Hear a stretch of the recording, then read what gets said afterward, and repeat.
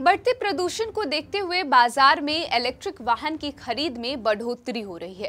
वैसे तो बाज़ार में सैकड़ों मॉडल के इलेक्ट्रिक स्कूटर उपलब्ध है।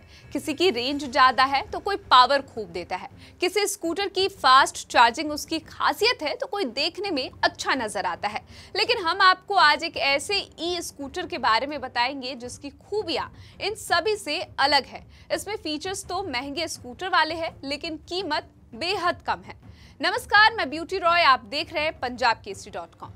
Electric scooter बनाने वाली भारतीय कंपनी जेमोपाई के स्कूटर में इतनी खूबियाँ हैं कि आपको सभी खूबियों में एक ही स्कूटर में लाने के लिए मोटा पैसा खर्च करना पड़ सकता है। लेकिन जेमोपाई आपका यह सपना साठ हज़ार से भी कम रुपए में पूरा कर सकती है।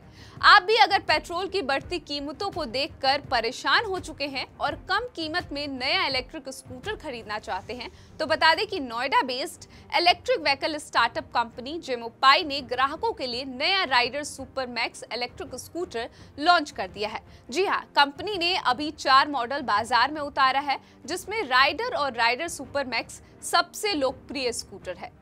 साल 2017 में इसकी शुरुआत हुई थी और आज यह देश का लोकप्रिय ब्रांड बन चुका है। वहीं बात करें इसके रेंज और बैटरी चार्जिंग पावर की तो इस मामले में जेमो पाई का स्कूटर अपने दूसरे कॉम्पिटिटर से काफ़ी अलग है।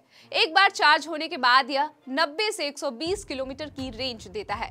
बैटरी चार्ज करने पर भी आपको फास्ट स्पीड मिलती है। इस स्कूटर की अस्सी फ़ीसदी बैटरी महज दो घंटे में चार्ज हो जाती है और फुल चार्जिंग में आपको ढाई घंटे से भी कम समय लगेंगे।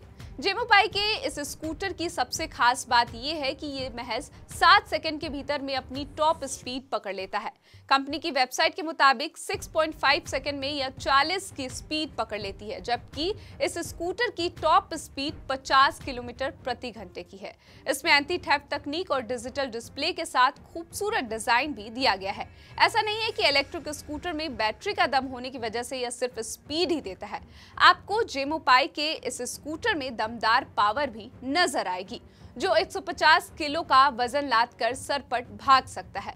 इसके ज़रिए आपके प्रति किलोमीटर रनिंग कॉस्ट 10 से 15 पैसे रह जाती है, और तो और बैटरी पर कंपनी तीन साल की वारंटी भी देती है।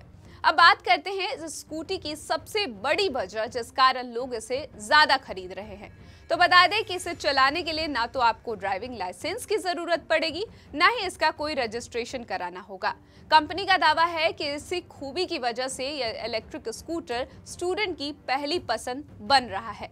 जेमोपाई शहरी जीवन को बदलने की दिशा में आगे बढ़ रहा है। जेमोपाई का उद्देश्य है भविष्य में एक ऐसे शहर को बनाना जो पर्यावरण के लिए सहयोगी है।